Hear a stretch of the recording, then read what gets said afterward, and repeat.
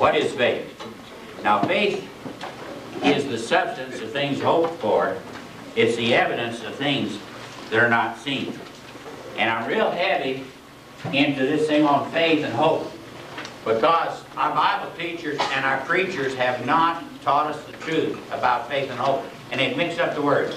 How many know that we mix up the words on soul and spirit? Amen. We mix up the words on faith and hope.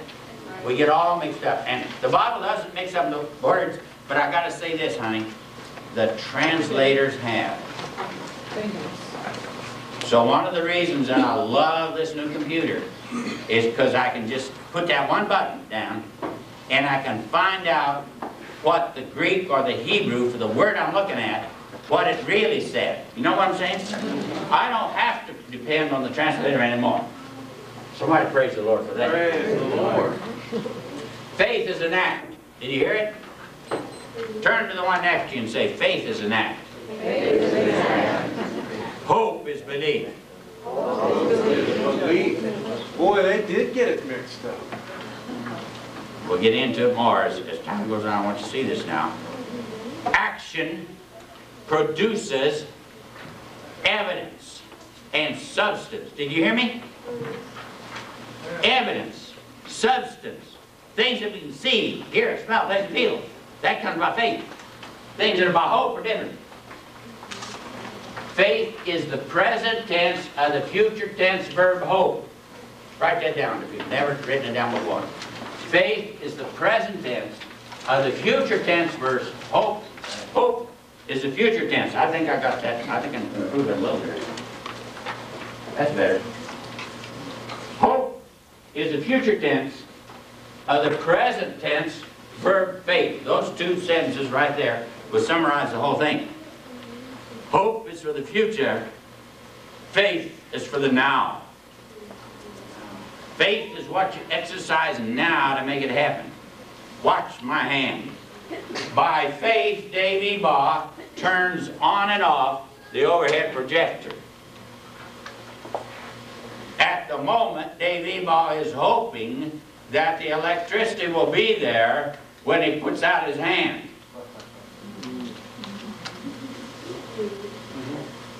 And by faith, he made it work.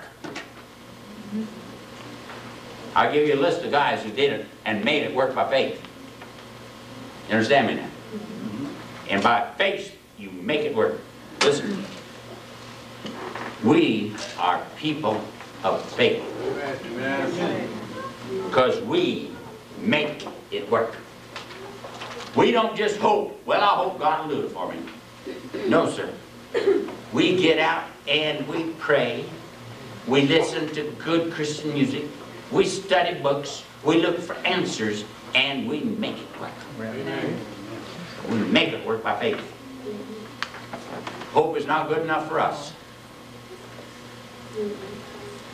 But some things just won't come no matter how hard we work toward them. Because they're in the prerogative of God. And he says, that's, I'm going to do this on the day I want it done. Amen. Not on the day you want it done. So you're going to have to hope for it. And not exercise faith for it. Now here's why this is so thrilling to me. I am a man of faith, and for my whole life, I have been able to accomplish what I set my mind for. You understand me? I've given you a little quick example there. What my mind was set, I found out how to do it and did it, and was successful at it, and got lots of reward for it over my life. But there are some things I have not been able to accomplish. No matter how hard I try. You understand me? Mm-hmm. And I had to have an answer for that. You know why? That was a challenge to my faith. I've been successful right along, and all of a sudden here was something I couldn't have. So why couldn't I have it? Was there something wrong with me? Come on. Haven't you thought that? Haven't you thought that same way? I can't come into that. I'm trying, I want, and it's not here. And I've done all the right things. I've gone to all the right meetings. I sang the right songs. I put the money in the, in the preacher's. You know what, man? Still didn't work. I have to have an answer. I'm a kind of a man that I can't live without an answer. When I see something I don't know, I go after that until I find it. And so here's what I found. Some of the things that I think I ought to have by faith, God says, nope, they're by hope. And the one that I want so much right now is that energy. Yes. Amen. And I want that energy to come from God right now. Amen. And I'm hoping that this is the right period, for this is the feast of, and I'm hoping He's going to send it today. Amen. But I can do everything that's right. Let me tell you what I did. First thing I did was take a bath. I ate a good breakfast. I got ready. Of course, the, all this was ready, you know, a lot of the physical things were done. And I picked up my, all, all my papers and things like that. And my wife reminded me, reminded me of a couple other things I forgot. Oh, praise the Lord for a faithful wife who can remind you of the things you didn't get done. So I went back and did them. Then I came here and I did all the things by faith, but I can't make the energy of God come down from heaven until He said, He sends a, a, this fella, a, a fella named Gabe, Gabe Gabriel, and he's got a little trumpet up there. And man, he's been practicing, but they haven't let him out of the sound booth yet. And one of these days, he's going to come out of the sound booth and God say, let me hear your sound, Gabriel. And he's going to send a trumpet blast around the world. And he's going to send his energy. And there's going to be some changes made. I don't know about you, but I kind of like that song, there'll be some changes made today. I'm going to change my way of living, if that ain't enough. I'm even going away, change the way I strut my stuff. You mean? All right, because there's going to be some changes made. Yes, sir, there are. And it's right around the corner, but I don't get to tell Gabriel when to blow it. And it just might be that it starts at 1:30. All right. Well, by hope. You know what I'm saying? By hope. All right. Now, God makes hope happen without our input. We make faith happen with God's input. Did you get it? God makes it happen. We make it happen. God doesn't need us, but we need God. Now that's the truth of the matter, but there's one little change that has to be identified. God said there's one thing that I can't do.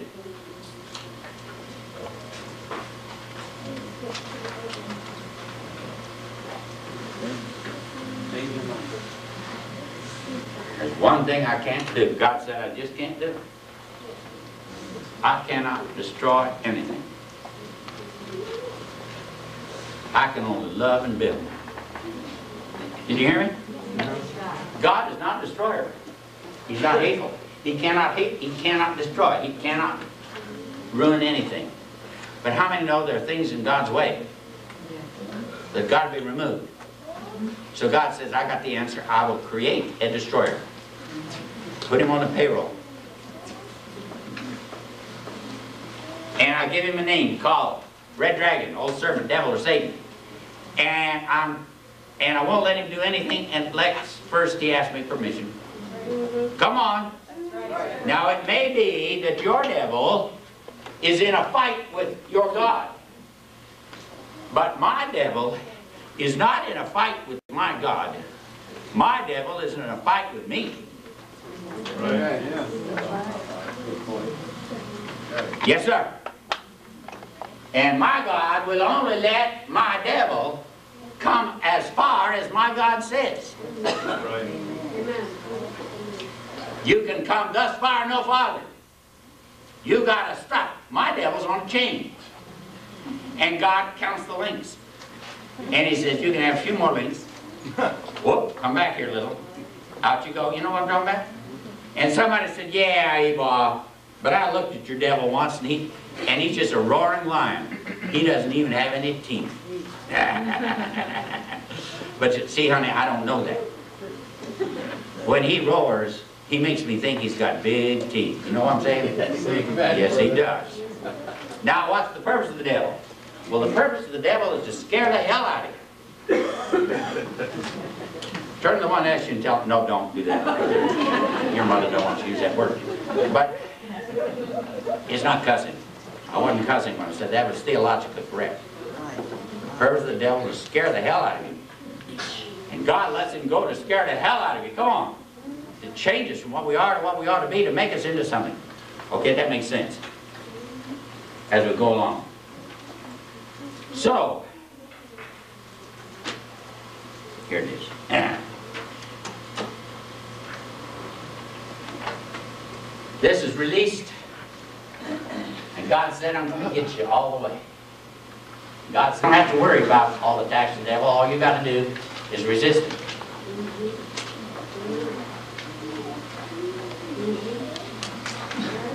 How many people call me and say the devil's after me, making you go away? No. Uh-uh. God said, that isn't the way it is, honey. Do you know that even the Jewish carpenter had to talk to the devil? Come on. He had to fight him. You resist him. Now, faith and grace, I'll say that again. Faith and grace save the spirit. Faith and works save the soul. Hope is for the salvation of the body. At the moment, you can only hope for the salvation of your body. Come on. Now you exercise faith, and God has already exercised His grace. Are you hearing me? Yeah. Save your spirit. Mm-hmm. Jesus come into your heart. How does Jesus get in your heart? By grace and faith. Why? It's by grace and faith. Not a works, lest any man will boast. You remember all that. That's right. Yeah, you can't do that. But then the Bible says work out your own salvation. And how many know that working out your salvation takes faith? And you say, wait a minute, Ebaugh. You're mixing it all up. No, I'm not.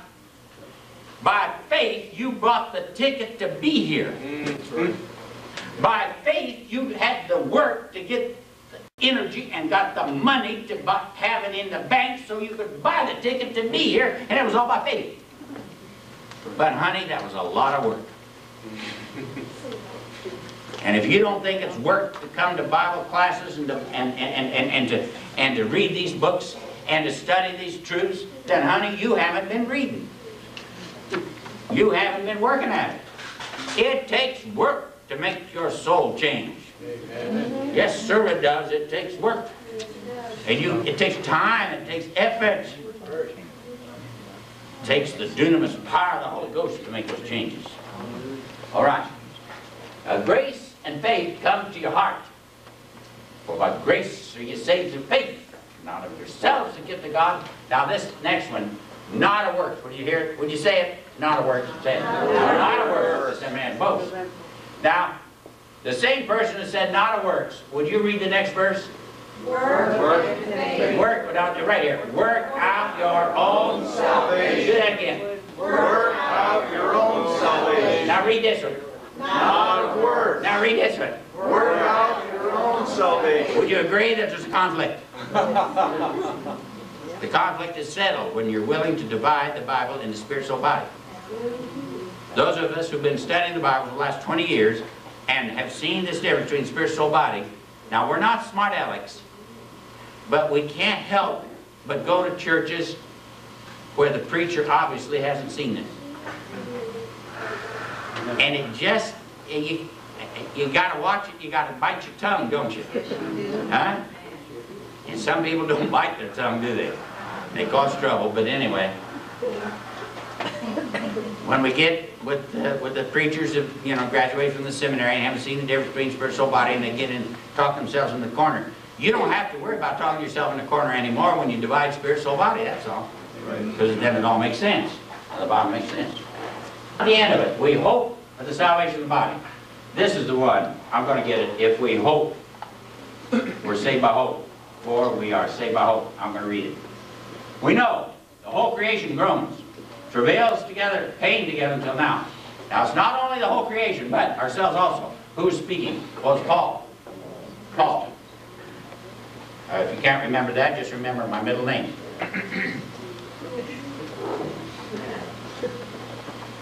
But ourselves also, we have the first fruit of the Spirit. Do you know that James said we have a first fruit of the Spirit? Amen. All right. We have the first fruit of the Spirit. We grow within ourselves also. Waiting. You see the word waiting? You see, anything that's hope is always waiting. Waiting for the adoption. How about that? The adoption. Oh, I'd love to take two hours with you on the word adoption. Maybe I will sometime. To wit, the redemption of a body. Now, somebody says, Paul, have you been redeemed? I'm redeemed by love divine. Hallelujah. Christ is mine. Have you been redeemed? Say yes. Yes. Was Paul waiting to be redeemed? Say it. Yes. Because you've been re- redeemed in your, Our spirit. you're being redeemed in your soul. Paul was waiting to be redeemed in his what? Body. Not his spirit, not his soul, but his Body. So, we're saved. Now, I'm going to do this again until I get this point. The body salvation comes by what? Hope. We're saved by hope in the body. And then he goes on to explain a little more about hope. He said, hope that's seen is not hope. Because if you can see it, it turns into Faith. faith. So he says faith is, I mean, if, you, could- if you're hoping and you see something, then it's not hope. And if you see it, then don't hope for it. You already got it, is what he's saying. You can see it, don't hope for it. How many are learning something? I am. Listen, that this was a wonderful lesson for me. We hope for that we see not, and then with patience, what's that other word? Wait. Now, that's another word that I'm going to have removed from the Bible. Amen. I have formed a committee, the Harrisburg Committee, to take the scissors and remove the word patience. That word is anathema to me. Patience. Oh, yes. I don't have time for patience. How many know you've got to be patient? How many know we don't like it? I don't like patience. I don't want it. If there's any way I could get around it, honey, I've studied this Bible inside and out trying to find a way around patience. And it isn't there. Let me tell you. I spent enough hours to know it's not there. You, you've got to learn patience. We've got to have patience and we've got to wait for it. So that ends that for that patience thing, and I'm finished with patience.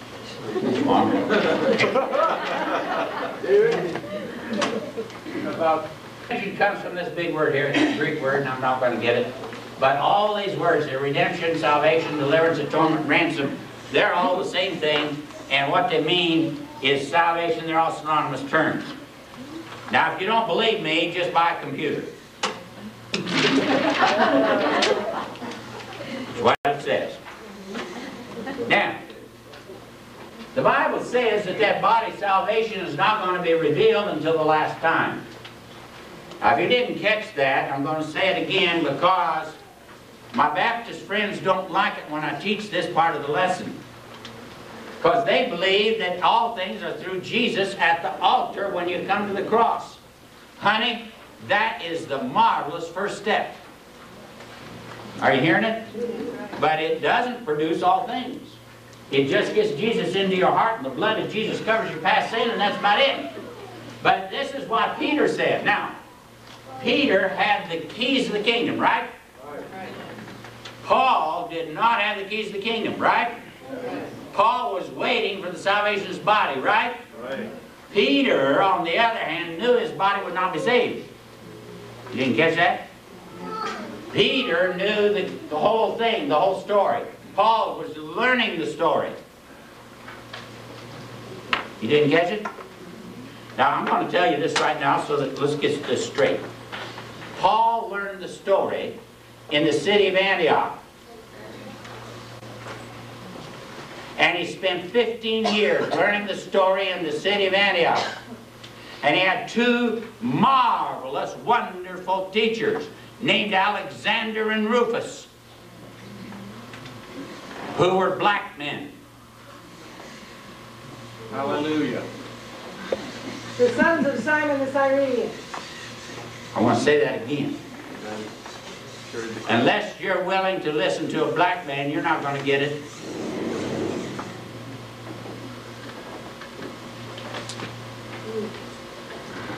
Black people up here in the first row. All right. And I want you to know that Paul and all the verses and all of everything he ever said was because Rufus and Alexander taught it to him, or the Holy Ghost took what they said and brought it to his remembrance, and then he could extrapolate through the Spirit. Do you understand me now? Mm-hmm. All right. Now, why is that important? Some of you don't understand this yet. It takes all the members of the body of Christ to get this job done. Come on. And not everybody's ready socially to go into this right now. Because it's going to be red and yellow, black and white. All of God's children are going to be in the body of Christ. Hallelujah. And they're all going to have a place. Yes. Now, how many of you have ever been in a service where they told you that Paul's two teachers were black men? Alexander and Rufus, sons of Simon the Cyrenian. You look up where the Cyrenian, he was black. Alexander and Rufus were black men. And you know what? They said, our daddy carried the cross. It was my daddy that picked it up and put it on his shoulder. And let me tell you something. When my daddy carried the cross, he learned some lessons. He learned lessons that no white man could ever lesson, learn. And when we'd come home, he would talk to us and tell us and teach us about what happened that day. And Paul would say, tell me more. Tell me more. Tell me more. And it took 15 years for the Holy Ghost was ready to send Paul out to teach lessons as he began to learn from those two black men whose daddy carried the cross. I want you to know something, my dear friends. You've got to open up. You've got to be willing to hear and listen to Fred Price. Come on. Ah, I, I'll get you. He's got something to say. Yes, he does. And all the men of God can tell you something. If you're willing to hear it. If you're willing to listen. Come on. Praise God, wonder. But the big thing is, to this inheritance that's incorruptible, undefiled, and it fades not away. Now it's reserved in heaven. As my hope, get it? But see the word reserved? How many know that an inheritance that's reserved isn't yours, but it is yours? Now if you have an inheritance that's in a trust fund reserved in the bank, can you spend it? Say it, tell the other one. Tell the other one, you cannot spend it. Is it yours? Is it reserved? Got your name on it? Yes. Did the testator put it in for you? Yes. Well then why can't you have it? It's not time. Say it. It's not time. It's not the time. They're kept by faith of the power of God through the salvation that's going to be revealed. Say it. The last time. Now that salvation is not revealed at the time of Jesus Christ. Now that's the one that's hardest of all. that salvation is revealed when? The last time. That salvation is going to be here at the end of the old age, the beginning of a new age. Uh-oh. I said that word. Shouldn't have said that one. Uh-oh. Well, I'll leave that one go. You see, some of you don't know this, but about 30 years ago, we used the word New Age to describe the millennium. And it was used in literature, and the preachers all used it, and that kind of stuff. Then some people got a hold of it and changed the meaning. Now we're not allowed to use that word. See, I could never stand here and tell you I'm feeling gay. Peter knew his own body was die before the last time, but Peter said, there's going to be something revealed. It's reserved. It's an inheritance. You can't have it. But there is a generation gonna get it. Hallelujah. I'm feeling religious. I want to talk about the generation that's going to get it. That generation's going to overcome the what? Who was right? Peter right or was Paul right? Peter said, I must put off this my tabernacle. The Lord showed me. I'll endeavor that you will be able after my, what's that word? You know he's talking about dying. Come on. Peter knew he was about to die in his body. He knew that. Well, how did he know that he was about to die and he could not enter into this salvation that he had the keys to? He understood it. Got the picture now? He knew it. Well, here's your answer. It's over there in John. If you've never studied that, you'll have to go through it with me for just a little bit because it was right at the end of the book of John and Jesus had already come and he said, now, and he, you know, he's already gone through the cross and the resurrection and all this. Now he's talking to Peter again. He said, Peter, do you agape me? And Peter said, Yea, Lord. Yea, Lord. you know that I phileo you. Now Jesus had said, you agape me? You love me? My dear friends, this is one of the most important sections of the scripture as to why I believe that you've got to find out what the Bible really said, not what the translator said. Because they took these two words, turned them into love, and it's a rendition that makes absolutely no sense at all. Do you love me? Yea, Lord. You know I love you. Well, then feed the uh, lambs. You love me? Yeah, Lord. Uh, then feed the sheep. That made no sense at all. Come on, tell the truth. To you English-speaking people, it absolutely makes no sense at all, that whole dialogue. But when you see that these are Greek words, and he says, do you agape me? And he said, well, I phileo you. And he said the second time, you agape me? And he said, yeah, well, I phileo you. And he said the third time, do you phileo me? And now Pete's upset. He's mad. It says it right there. He's upset. He's really mad. Because on the third time, he changed from agape to phileo. Now it makes sense. Now you see it. Because there's a big difference now between agape and phileo. Because Peter said, I phileo you. I can't agape me, you. Now watch this. He said, feed the sheep. Verily, verily, I will hit that. There's your doubles. I say to you, when I when I were young, when you were young, you, you, you dressed yourself and you walk where you wanted to go. When you're going to be old, they're going to dress you and they're going to bind you and they're going to take you where you don't want to go. This spake he signifying by what? What's the next word? Death. Death. He should glorify God. And when he spoke of this, he said, follow. Now,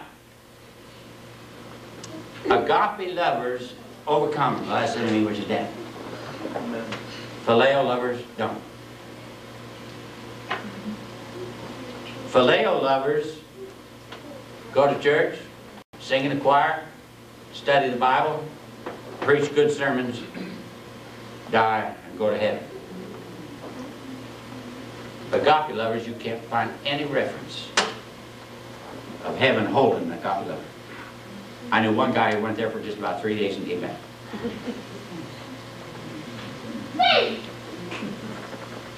Agape lovers can't die. They don't die. There's your answer. There's the whole answer right there. Faith, hope, and love. It's got to change from faith to hope to love. Because love is your key. It's the way to the kingdom. It's the way to overcoming the last enemy, which is death. How many know there's a generation going to overcome the last enemy? And what is the last enemy? And they're going to turn from phileo lovers to become, you got it.